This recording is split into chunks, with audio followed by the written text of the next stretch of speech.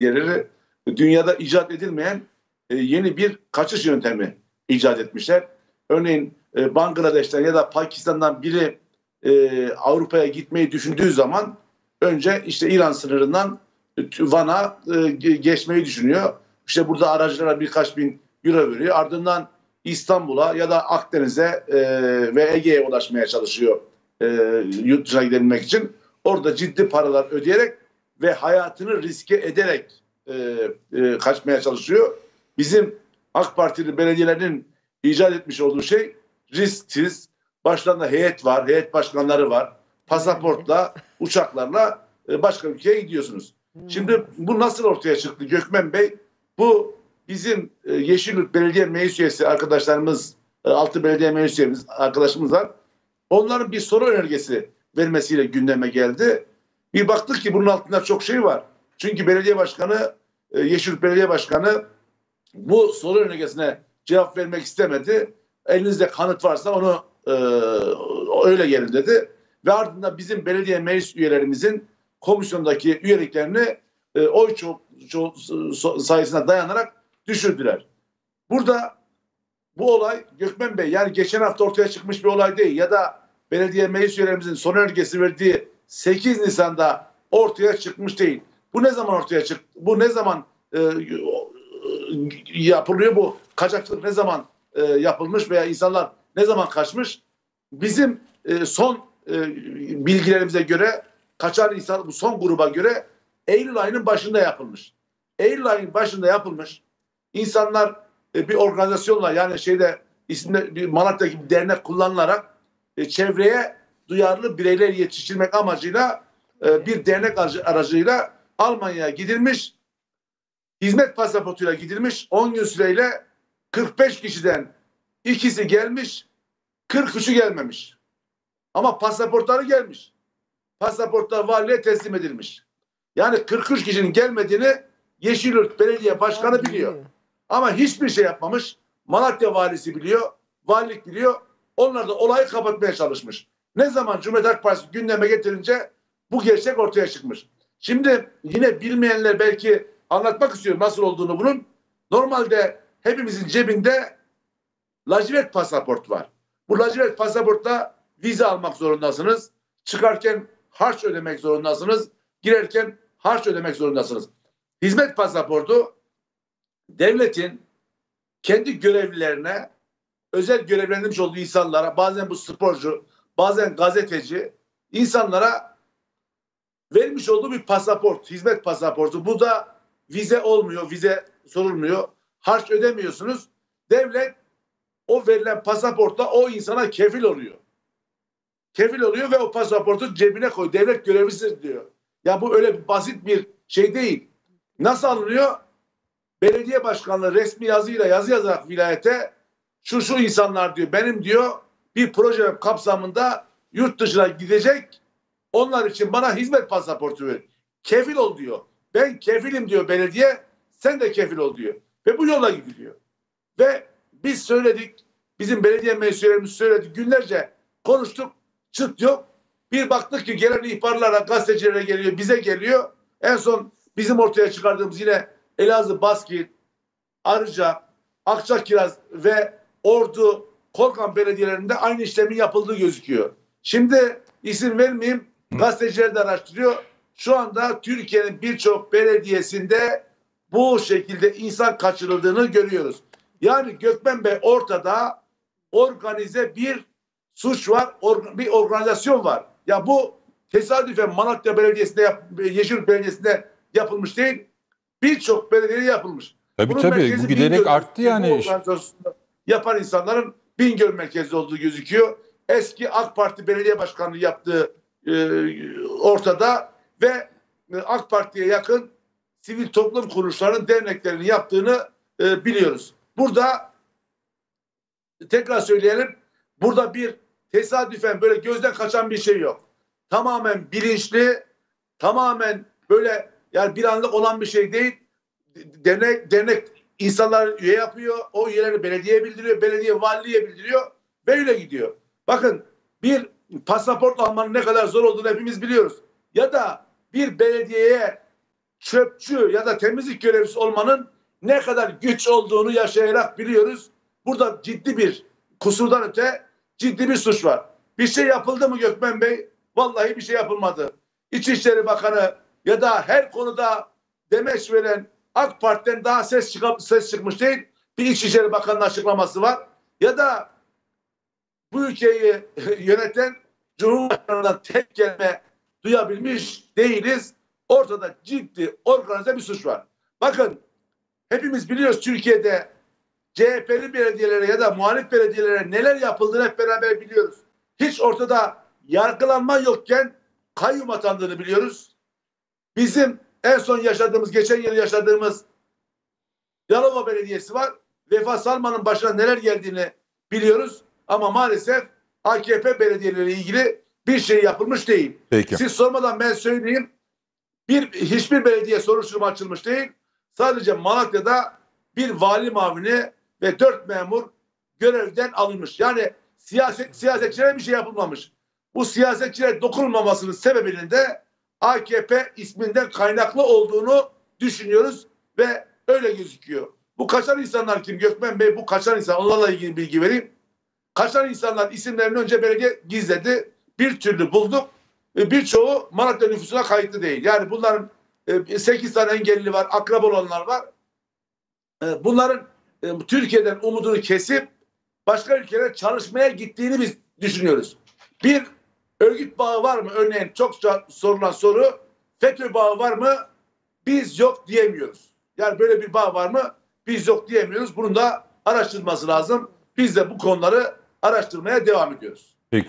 Ee, bir sorusu vardı Alper Bey'in. E o yanıt verdi. Ben Haber şey yani Gidenler kim? insanlar niye so- niye gidiyor? katkı verebilir miyim? Tamam ama ee, kısa yanıt rica edeyim çünkü Celal Ülgen'i be- bekletiyoruz. Buyurun. Üstadımızı bekletmeyelim. Ee, Sayın Genel Başkanım şu husus önemli. Ben gri pasaportla yurt dışına çıkıp gelmiş biriyim. Yani o zaman... Hangi belediyeden aldınız e, efendim? Ben o zaman Adalet Bakanlığı Uluslararası Hukuk Dışı İlişkiler'deydim. Bize gri pasaport verilmişti ve biz çıkardık. Yani İçişleri Bakanlığı'ndan gidip alırdık bunu. Usul böyledir. Çok sıkı kural şartları vardır. Yani sorumluluğu İçişleri Bakanlığı'ndadır bu e, bunların. Ve döndüğümüzde de uçaktan iner inmez bunu teslim zorunluluğumuz vardı. Eğer o Aynen. gün teslim etmezsek zaten suç işlemiş olurduk. Ben o zaman yani bunu bildiğim için söylüyorum. Teslim yani sizin kişi olarak ben teslim. Kişi, tabii ben, ben kişi olarak. Çünkü gri pasaport geçici bir pasaporttur. Görev pasaportudur. Ee, siz onunla çıkartınız sizin malınız olmaz o.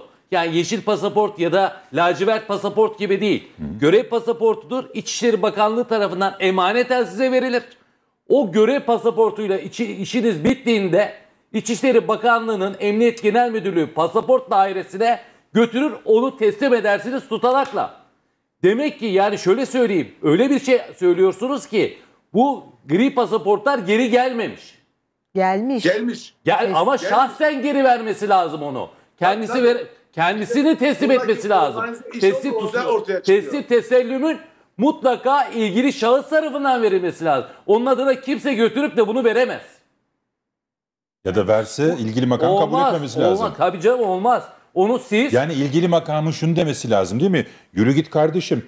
Sen ne getiriyorsun? Ne çuval, burası, bir çuval elma mı getiriyorsun? Bu kişilerin hepsinin Olacak tek tek gelmesi hepsinin, lazım. Zaten o yüzden bunun önüne geçmek için ben de yurt dışına Strasbourg'a gittim toplantıya. Döndüğümde kaçmadığımı belgeleyebilmem için devlet göreviyle gittim. Harcıra aldım değil mi? Bunlar da harcıra aldılar. Bunlar da belediyeden imkan sağladılar. Ve o şekilde gittiler. Devletin parasıyla gittiler. Ya da belediyenin parasıyla gittiler. Neyse. Bu bir işte bilgi ve görgü arttırmak diyelim. Bu pasaportları doğru da onları teslim etmesi gerekiyor. Bu ayrıntının üzerine de mutlaka durulmalı diye düşünüyorum. Peki. Son şey şu. Söyledikleriniz şeyden birincisini vurgulamam lazım. Türk Ceza Kanunu'nda kamu görevlisinin öğrendiği bir suçu bildirmemesi suçtur. Hem de ağırlaştırılmış bir suçtur. Sivil vatandaşın öğrendiği suçu bildirmemesi daha hafiftir ama bir kamu görevlisinin böyle bir suçu öğrenip saklaması daha ağır bir suçtur. Bu vurguyu da yapmış olalım. Peki. Gökmen Bey bir de burada şöyle bir Gökmen şey, Bey bir şey da... bir şey söylüyorum ee, vekilim sen sonra tamamla e, son olarak. Tabii. Ya şimdi bu organizasyonun vahimliği e, bu tablonun Skandal. kendisi büyük bir olay zaten de ama bir de şöyle bir boyutu var meselenin. Ya bizim insanlar niye bu ülkeyi terk etmek istiyor ya? Bir de bunlar AKP üzerinden Terk muhtem etmek için de kişi başı 7 bin Bir de Sayın Genel ödüyor. Evet, Başkanım. yani bu ola- yani şimdi Bu Türkiye'nin itibarı açısından bakın biz vize almaya gidiyoruz. Türk Evet. vatandaşları alıyorlar. Ama- yani bu bunun e, artık duyuldu şeye Türkiye Cumhuriyeti'nin itibarı açısından çok kötü. İtibar ötesine yani ülkenin geldiği Tabii. tablo yani ülkenin yurttaşları kendi ülkesinde yaşamak değil başka bir ülkeye gitmek istiyorlar. Büyük bir göç var ve ülkenin cumhurbaşkanı masal anlatıyor. Yani Türkiye'de masal anlatıyor. Türkiye'nin ne kadar ileri bir noktada olduğunu anlatıp duruyor ama hayat işte ortada işte. Yani insanlar AKP belediyeleri üzerinden ki muhtemelen çoğu öyledir. Başka bir ülkeye kapak atıp oralarda ailesinin geçimini, kendi geçimini sağlamak için çeşitli yollara Tamam. başvuruyorlar. İşin bu boyutu da önemli. Evet. Ama şu boyutu da unutmayalım Alper Bey. Tabii. Ee, hani işin bir de hani FETÖ boyutu varsa burada hani bazı FETÖ üyelerinin de bu vesileyle e, buralardan kaçıp gitmesi ise o da incelenecektir zaten. O da işin ayrı boyutu.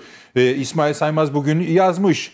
Ee, ya diyor Bingöl'den adını açıklamayan bir vatandaş 2019 yılından beri bu yöreden en az 300 kişi yurt dışı gezisi adı altında Almanya'ya götürüldü diyor. Gidenler arasında oğlu ve de yeğeni var. Aktardığına göre kaçakçılık şebekesi Bingöl, Elazığ, Muş ve Malatya'nın köylerinden adam topluyor. Firar tarifesi de şöyle. Kişi başı 7 bin euro ödeniyor. Otobüs içinde 250'şer euro. Bir belediye ikna ediliyor. Hizmet damgalı pasaportlar alınıyor. Sonra kafile yola çıkıyor. Almanya'ya varınca sen sağ ben selamet diye başlıyor İsmail'in yazısı. Ee, yine Şimdi İsmail Saymaz'ın yine bu akşam bizimle olmadığını hala merak edenler var. Cuma e, akşamı bir e, program e, var artık e, sayın seyirciler Halk TV'de. E, neyi perdenin önü arkası diye. Orada e, çok sık aralıklarda olacak ve yorulacak diye İsmail Saymaz bizden affını istedi pazarlardan. İsmail'in yerine ben geldim. Rizeli, Tabii İsmail Rizeli Saymaz'ın ben biz de Rizeliyim. Çok ağır bir topla onun boşluğunu Sayın Genel Başkanım doldurdu. Rizeli olarak boşluğu dolduruyor. Boşluğu doldurdu. E, çok kısa sizin boşluğu bir şey alalım. olmaz ama. Veli Bey burada belediyeler ne çıkarı var diye sorulabilir. Belediye ne için yapılıyor? Belediye para için yapıyor bu işleri. İsmail Saymaz çok önemli bir e, gazeteciliğe imza attı. E, belediye başkanıyla röportaj yapıyor. O da çok çok e, güzel cevaplıyor. Diyor ki ya burada iş bulma umudu yok diyor. Bize de yük diyor. E, gitsinler başka ülkede çalışsınlar diyor. Siz ne aldınız diyor İsmail Saymaz. 100 bin liralık bir kamyon aldım diyor. Ya burada söyleyeyim bu, bu da belediyelerin ciddi bir para çıkarı var. Peki. Ve bu sayı öyle 40 kişiyle falan sınırlı değil. Bu, bu işin binlerce e, insandan e, insanlar oluştuğunu biliyoruz. Peki. Ve bu maalesef şöyle bir 5-6 aylık dönemde de olan bir şey değil. Bir, iki- birkaç yıldan beri devam eden bir olay. Peki. E, resmen Türkiye'de belediyeliğiyle valilik araya konularak Ruşen Bey çok güzel ifade etti. Hizmet pasaportuyla devletin kefaretiyle insanlar yurt dışına kaçırılıyor. Bunun bir başka yönü de yine Ruşen Bey söyledi. Artık hizmet pasaportunun da e, bir itibarı kalmamış Peki. oluyor. Veli Ağbaba çok teşekkür ediyorum katıldığınız için. Ben teşekkür ediyorum. Evet Aysun Herkese diyor ki saygılar. Teşekkürler. Ee, sevgili Melda Onur'u e, tekrar görmek bizim için e, çok önemli. Ru- Ruşen Bey'e, sevgili Alper Başkan'a. Barış Bey'e ve size say- e, Ankara'dan selamlarımı, saygılarımı iletiyorum. sağ olun saygılar bizden. Aysun Nurallı diyor ki Twitter'dan bana yerli ve milli olarak mı gitmişler acaba diyor Almanya'ya. Almanya'ya e, gidip de dönmeyenler kendilerini yerli ve milli olarak mı Ama sayıyor? büyük bir skandal. Büyük skandal. Büyük skandal. Daha da nereye varacak bilmiyoruz. Arkası var Bu muhtemelen. yani böyle blok yani bir kişi değil iki kişi değil dönmeyen yani tamamı grubu. Demek Zaten dönenler de yerden. görevli yani Dönen başkan yok yardımcısı. seferinden. Ne güzel bir şarkı sözü. Evet e, sayın seyirciler bir ara rica ediyoruz.